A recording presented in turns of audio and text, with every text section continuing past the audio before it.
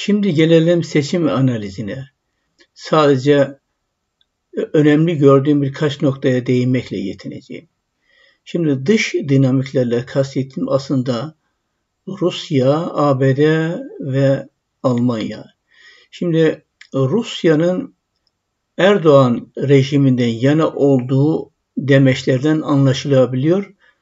Amerika'nın tavrına gelince yıllar önce çok sevdiğim dostum Haluk Gerger'in ilginç bir kitabını okumuştum. ABD, Orta Doğu ve Türkiye.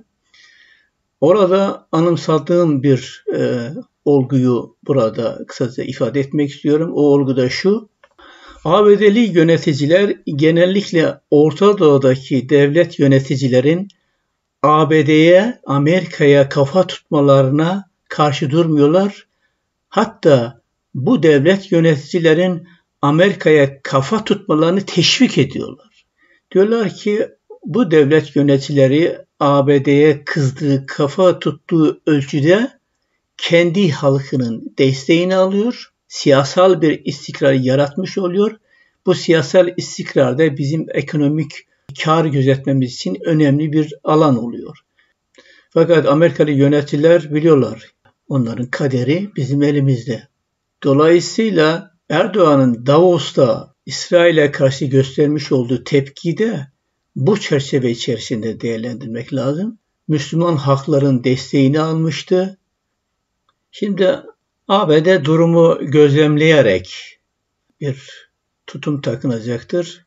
Eğer iç dinamikler kuvvetli olursa elbette ki muhalefetlerden yana tavır takınacaktır. Fakat şu an Erdoğan'dan yana onu görmek lazım. Almanya'da da durum öyle. Karşı muhalefeti biraz parçalı görüyorlar. İktidar süreci içerisinde muhalefetin nasıl bir tavır ortaya koyacağını kestiremiyorlar. Diğer yandan eğer Erdoğan giderse muhalefet tarafından Suriyeliler kendi ülkelerine geri gönder, gönderirlerse o zaman bu Suriyeliler birçok yollar deneyerek tekrar Avrupa'ya almaya gelmeye çalışacaklar. Dolayısıyla Suriyeli göçmenler nedeniyle de Almanya şu anda Erdoğan'ı arka planda destekliyor fakat ona karşıymış gibi görünüyor. Şimdi bu iç dinamiklere bir göz atalım. Türkiye'de genel olarak toplumsal bir sınıf analiz yapılmadığı için genellikle sık sık siyasi analizler yapılmaktadır. Şimdi ben bu arada toplumsal ve ekonomik analiz yapabilecek durumda değilim. Dolayısıyla siyasal analizle yetinmek durumundayım. Şimdi Türkiye'de üç muhalefet odağı var diyelim.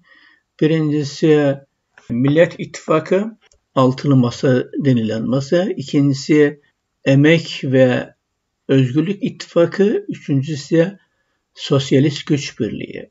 Şimdi Türkiye'de son 20 yıl içerisinde kentlerde önemli bir dönüşüm gerçekleşti.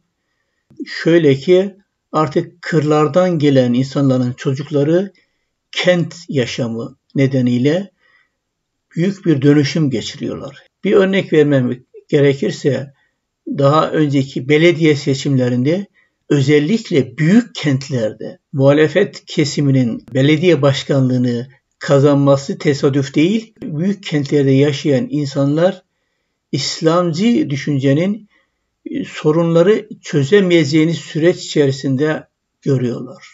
AKP'nin aleyhine, muhalefetin lehine olan ikinci olgu ise toplumda bir değişim isteği istemiyorlar. Bunu çeşitli sokak röportajlarında görmek mümkün. Artık 20 yıllık AKP iktidarı yeter deniliyor. Üçüncü olgu olarak da şunu söyleyebilirim. Gençliğin bir, bir bölümü deizme kayıyor ve İslam kültüründen, İslam dininden uzaklaşarak ateist veya deist oluyor. Yine AKP rejiminin Cumhur İttifakı'nın aleyhine olan gelişme ise deprem sonucu ortaya çıkan bir durum. Şimdi genelde büyük felaketler, savaşlar ve devrimler devletle halkın birleşmesine yol açar.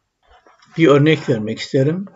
Bir İtalyan düşünürü Pareto, Birinci Dünya Savaşı'ndan önce Avrupa'da çok etkin olan sosyalistlerin gücünü, gücünü kırmak için şöyle bir öneride bulunmuştu. Diyor ki bir ülkede savaş çıkarın, sosyalistler hemen milliyetçi olacaktır ve devletle bütünleşecektir. Bu büyük ölçüde Avrupa'da gerçekleşti. Yani savaş devletle halkı bir araya getiriyor. Fakat Rusya'da tam tersi olmuştu. Rusya'da savaş ki orada Lenin'in rolü son derece önemlidir. Halkla devleti karşı karşıya getirmişti. Çünkü orada devlete karşı çıkan bir politika gündeme getirilmişti Lenin tarafından. Şu anda AKP rejimine aleyhinde olan diğer bir olgu ise şu, AKP döneminde siyasetin seviyesi çok düşmüştür. Rasyonel olarak karşı duramadığın bir insanı başka yollardan, alçakça yollardan yok etmeye çalışıyorsun. Daha geçenlerde gördük. Seccade olayı. Diğer taraftan Erdoğan'ın sürekli e, toplumu geren politikalar izlemesi de toplumda büyük bir destek görmemekte. Burada son derece önemli olan ki bu iç dinamiği ortaya koyan bir şeydir. Değişimden yana olan irade kendisini açık ve net bir şekilde ortaya koyarsa toplumdaki şu andaki verili durumu değiştirebilir. Şu anda Kılıçdaroğlu bu iradeyi göstermektedir. Siyaset bir sanattır ve üç yeteneği gerektiriyor.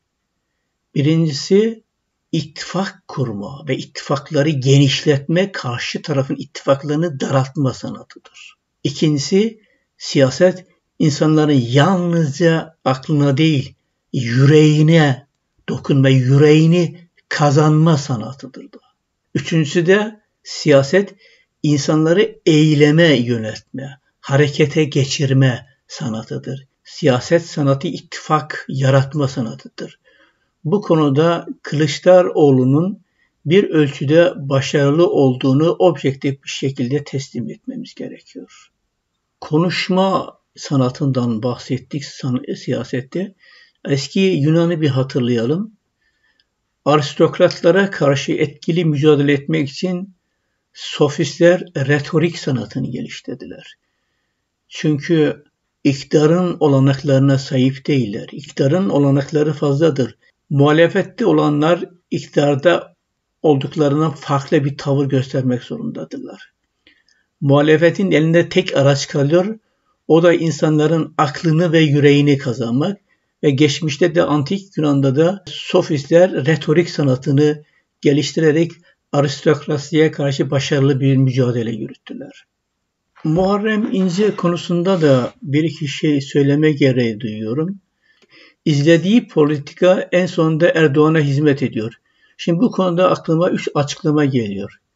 Ya bilinçli yapıyor ya CHP'ye karşı hınç ve nefret duyduğu için akıl tutulması yaşıyor ya da kendini darı ambarında görüyor. Muharrem İnce'nin adaylığına rağmen Cumhurbaşkanlığı seçiminin ilk turunda kazanmanın yolları aranmalı.